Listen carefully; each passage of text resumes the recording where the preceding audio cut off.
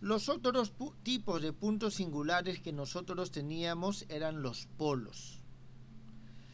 Entonces, vamos a ver qué es lo que pasa con los polos. Vamos a comenzar con un teorema. Teorema 3. Si el punto z sub 0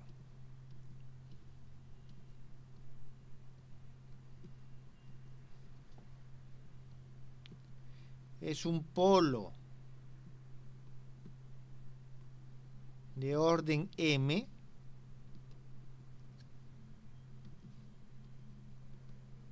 de la función analítica f de z, entonces nosotros vamos a tener lo siguiente, que el límite cuando z tiende a z sub 0 de f de z es igual a 0.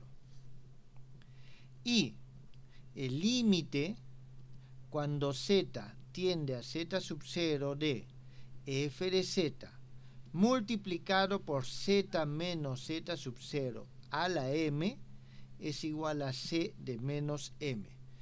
Esta es nuestra expresión número 3, donde este cn está entre 0 e infinito. Son los coeficientes del desarrollo en serie de Lorentz.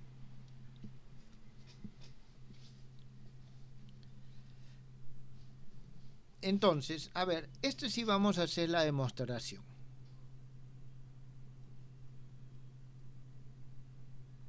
Aunque creo que es bastante evidente. Nosotros tenemos que f z, el z sub 0 es un polo de orden m. Que sea un polo de orden m significa lo siguiente, que el f de z es igual a c de menos m sobre z menos z sub 0 más,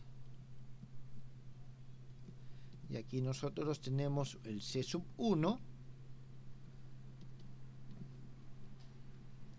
z menos z sub 0 más la sumatoria n igual a 0 hasta el infinito, c sub n, z menos z sub 0.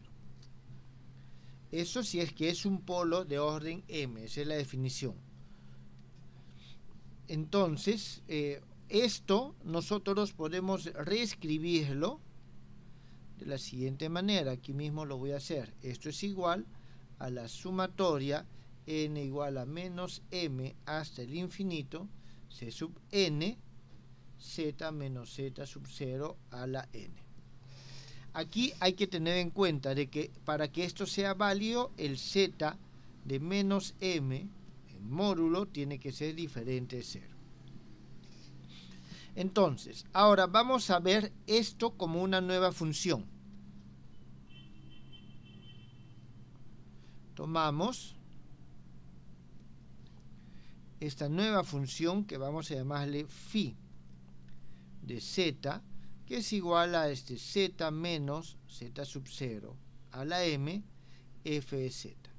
Esto es igual a la sumatoria n igual a menos m hasta el infinito c sub n z menos z sub 0 a la n más m.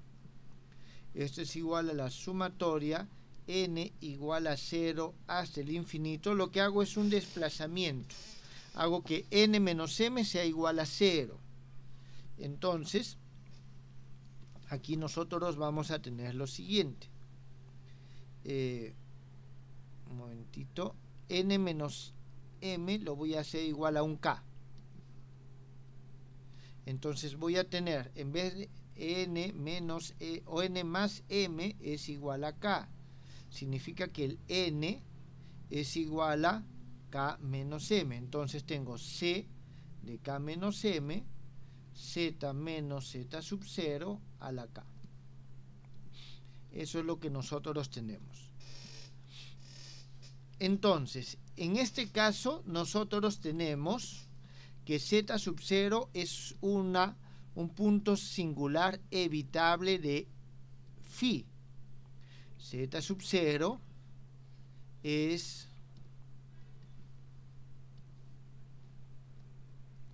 un punto singular evitable de esta nueva función que hemos introducido f z. En consecuencia, en mérito al teorema anterior, nosotros tenemos lo siguiente. Entonces,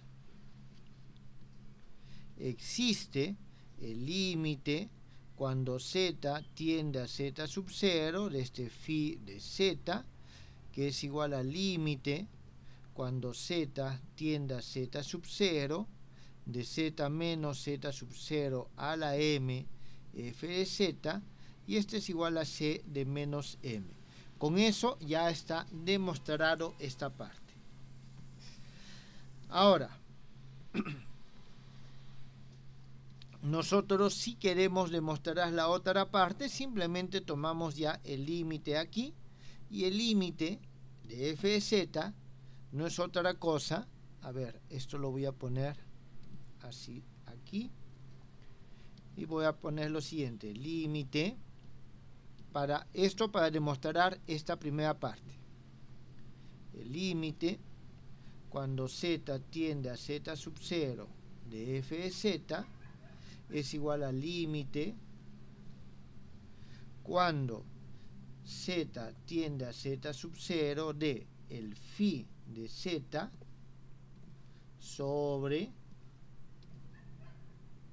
z menos z sub 0 a la m y esto, dado que esto tiene un valor finito y esto tiende a 0, entonces todo esto va a tender al infinito. Eh, ah, disculpen, aquí me he equivocado, aquí es infinito.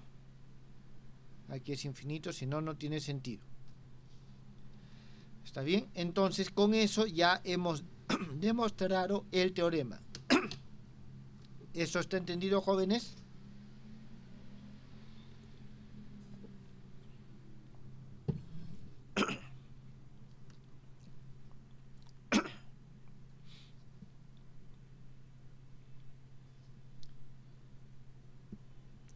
En un momento vamos a ver un ejemplo. Está bien, pero aquí sí necesitamos ver algunos conceptos más que son importantes. Entonces, tenemos esto. Jóvenes, el teorema inverso es eh, también es válido. Es decir, si para la función f z, que es analítica en alrededor de un punto singular aislado, y se cumple esta relación, entonces el punto es un polo de orden m. ¿Está claro? Es decir, si se cumple esto, a ver, voy a enunciarlo mejor. Teorema 4. Si para la función analítica. FZ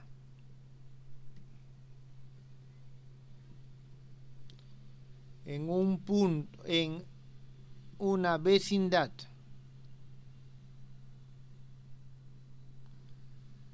Del punto singular. Aislado z sub 0 se cumple la relación o se cumplen las relaciones 3, entonces ese punto z sub 0 es un polo de orden m de la función f de z. Es decir, aquí nosotros decimos lo siguiente en este teorema. Si este es un polo de orden m, entonces se cumple que el límite cuando z tiende a z sub 0 de la función es infinito y el límite cuando z tiende a z sub 0 de la función por z menos z sub 0 a la m es finito. ¿Está claro? El otro teorema, que es el inverso, nos dice, si se cumple esto, entonces esto es un polo. ¿Está bien? Si se cumple, entonces eso es un polo. Eh, no voy a demostrar este segundo teorema porque está vinculado simplemente con la asunción inversa. ¿Tienen alguna pregunta, jóvenes?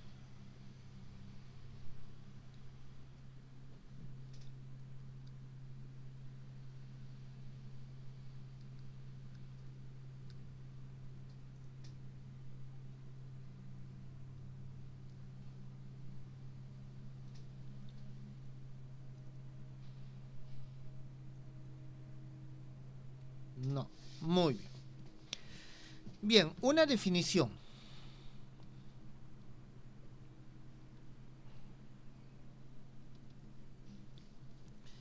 El punto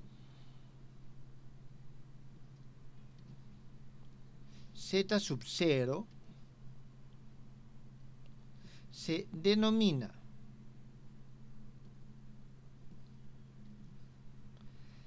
cero de orden m de la función f de z si f de z sub 0 es igual a 0, el límite cuando z tiende a z sub 0 de esa función f de z sobre z menos z sub 0 a la k es igual a 0 para todos los k que van desde 1 hasta m menos 1. Y, y esta es la parte importante de acá, se cumple que el límite cuando z tiende a z sub 0 de esta función f de z dividido entre z menos z sub 0 a la m es diferente de 0 y es finito. Entonces nosotros vamos a decir de que esta función tiene un 0 de orden m si se cumplen estas relaciones. Si se cumplen estas relaciones.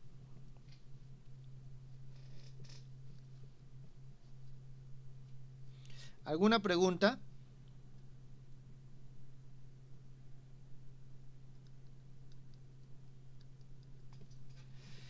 Ahora, además,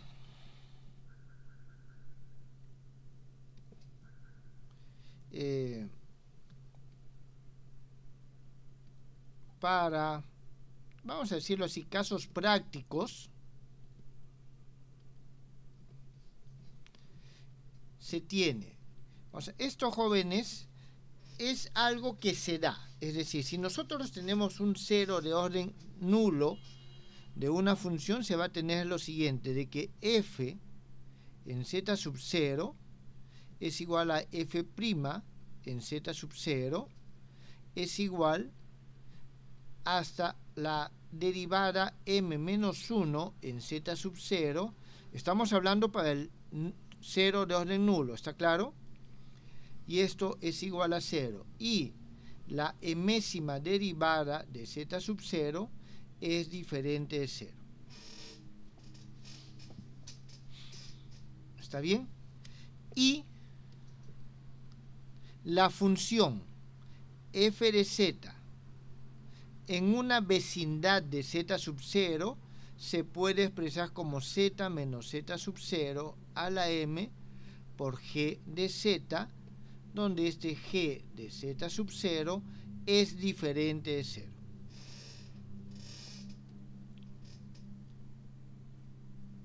Entonces nosotros tenemos, esta es la definición del cero de orden nulo, y esto nos va a servir en algunos casos prácticos y la forma de aplicar esta propiedad es por medio de la emésima derivación que nos elimina estos términos, que nos elimina estos términos.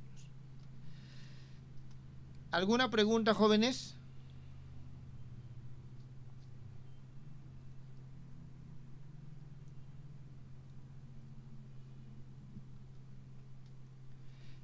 Antes de ir a los ejemplos, un corolario.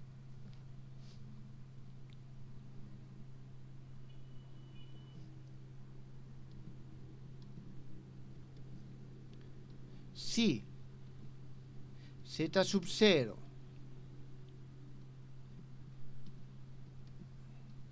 es un cero. De orden m,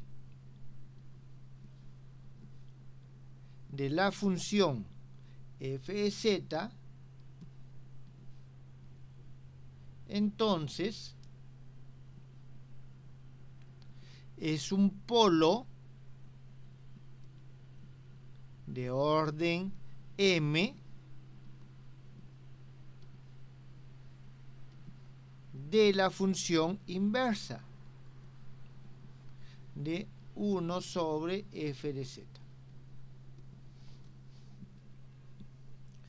Bien, jóvenes, creo que no es necesario demostrar, o en todo caso, queda ustedes de que revisen la literatura y vean la demostración. Pero es casi evidente el proceso por medio del cual se puede esto verificar. Muy bien, jóvenes. Entonces, nosotros ahora sí vamos a ver un par de ejemplos. Ejemplo. Eh, demostrar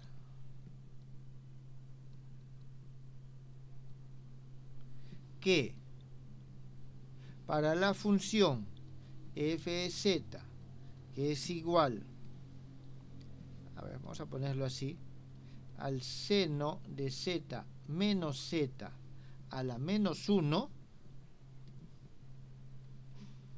el punto z sub 0 es un polo de orden 3.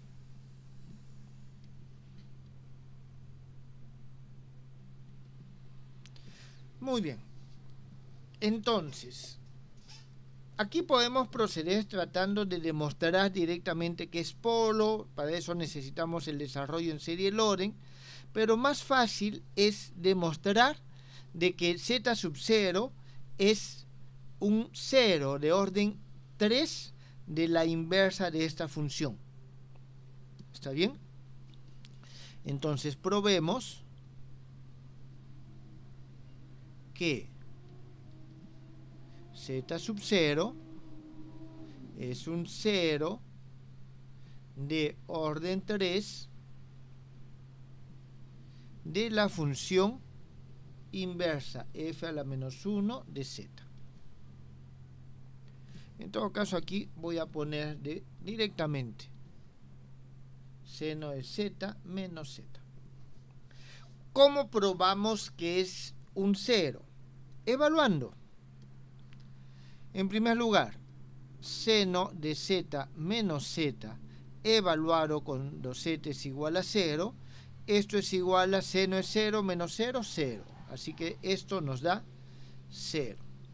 Muy bien el seno de z menos z, su primera derivada, estamos empleando esta propiedad que hemos visto anteriormente.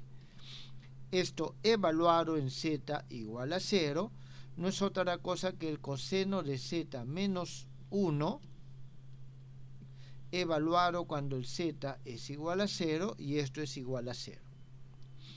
Muy bien, sigamos. El seno de z menos z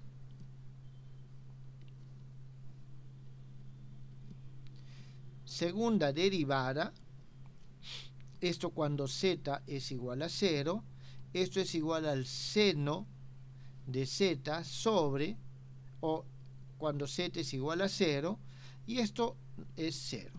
Sigamos, el seno de z menos z, tercera derivada, cuando z es igual a 0, esto es igual al coseno de z, cuando z es igual a 0, y esto es igual a 1.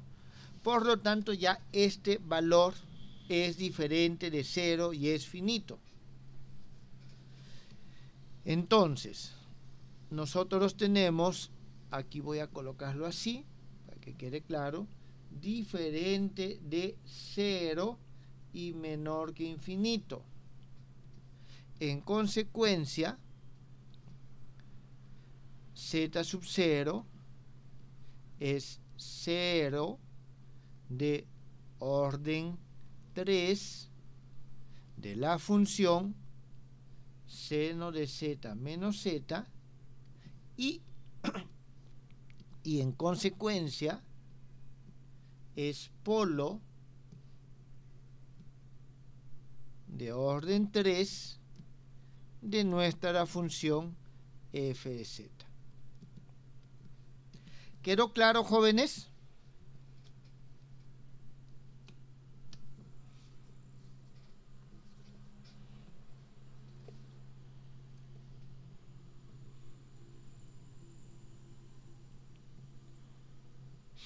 Muy bien, entonces, este es un ejemplo bastante esclarecedor. Este ejemplo, o en todo caso, el, por decirlo de alguna forma, la técnica que hemos aplicado para resolver esto, a nosotros nos va a permitir sacar algunas conclusiones que son un poco generales y que se pueden aplicar más adelante. Entonces voy a poner aquí conclusiones. Estas conclusiones están asociadas a lo siguiente. Vamos a decir de que tenemos dos funciones. ¿Está bien? Tenemos una función phi de z y tenemos una función psi de z. Para cada uno de estos vamos a tener lo siguiente. De que z sub 0 es 0 eh, de orden y en este caso vamos a decir de orden m. Mientras que para esto es un 0 de orden k. ¿Está bien? En un caso es un 0 de orden m en el otro caso es un 0 de orden K. Muy bien, entonces, ¿qué es lo que pasa? ¿O qué es lo que va a pasar con la función f de z, que es igual a phi de z sobre z, sobre psi de z?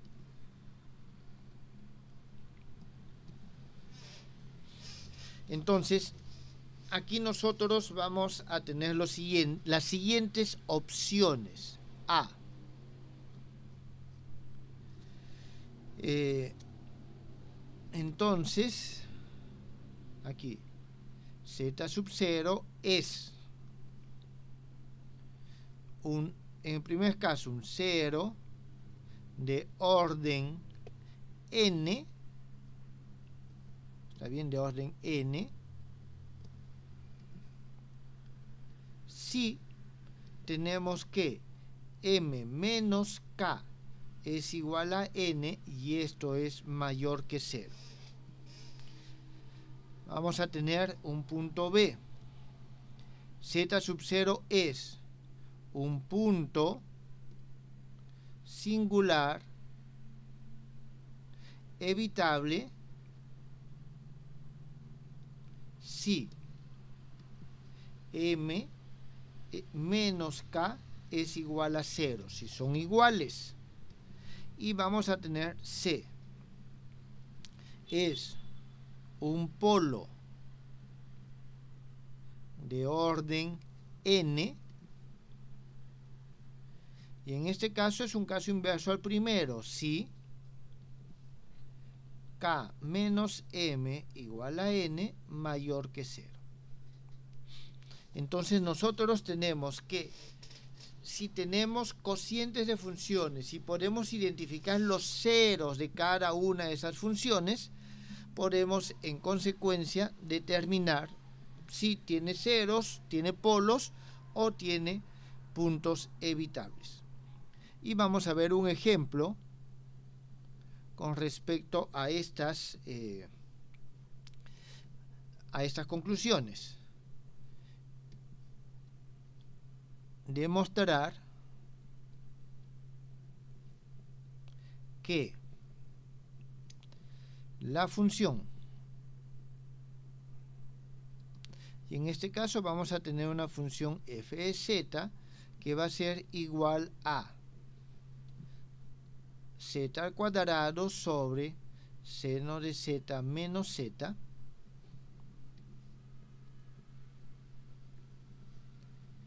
el punto para esa función el punto z sub 0 o z igual a 0 de una vez z igual a 0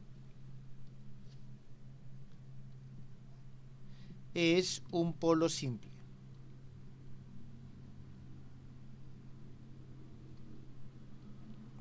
es un polo simple. Muy bien, para ver si es un polo simple, aquí podemos ver lo siguiente. Tomamos z al cuadrado. Para z al cuadrado nosotros tenemos, jóvenes, es evidente de que z igual a 0 es un 0 de orden m igual a 2. Jóvenes, aquí es fácil. z al cuadrado evaluado en z igual a 0 es igual a 0. z, en todo caso la derivada, z al cuadrado prima, que es igual a 2 veces z, evaluado en z igual a 0 es igual a 0. Y tenemos z al cuadrado 2' que es igual a 2 evaluar en z igual a 0 es igual a 2 diferente 0 entonces fíjense de que para la segunda derivada nosotros ya tenemos un valor diferente de 0 sé que en este caso no es necesario ese desarrollo pero siempre es importante remarcar el procedimiento que se está utilizando.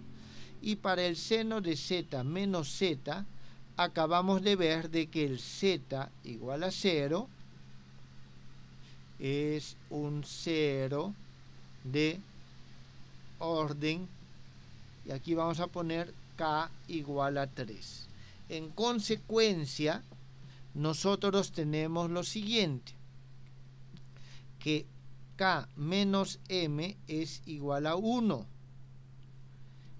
y aquí nosotros tenemos cuando tenemos de que K es el del denominador y N del numerador. Cuando el denominador es mayor y tenemos esta relación, significa que Z igual a 0 es un polo simple de nuestra función f de z. ¿Esto ha quedado entendido, jóvenes?